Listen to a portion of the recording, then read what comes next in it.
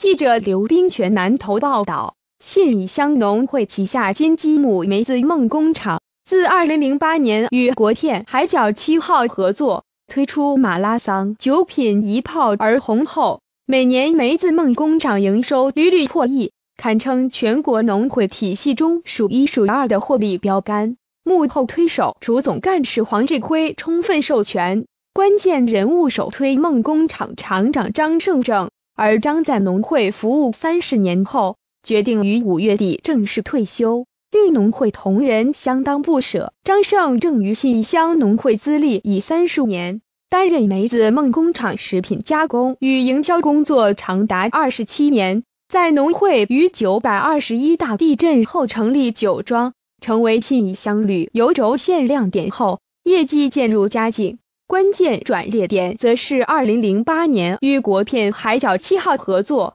评级马拉桑打响农会与酒类品牌，之后又与农会同仁陆续打造出多款畅销酒品以及充满话题的梅子加工品，年营收便从二零零八年前的三四千万元水准，一举跃升成为连十年营收破亿的农会金鸡母。堪称全国农会界的著名模范。张胜正表示，梅子梦工厂是国内农会展售中心的龙头，感谢过去农会高层授权，让他与食品厂伙伴一起打判，所有的成就归功于大家的努力，其中优秀干部与年轻心血发挥创意，才能营造出快乐工作、尽情发挥的工作环境，进而携手创造营收纪录。虽然退休在即，但仍勉力后进放手去做，未来继续为农会、农民与消费者提供更好的服务与农特产品。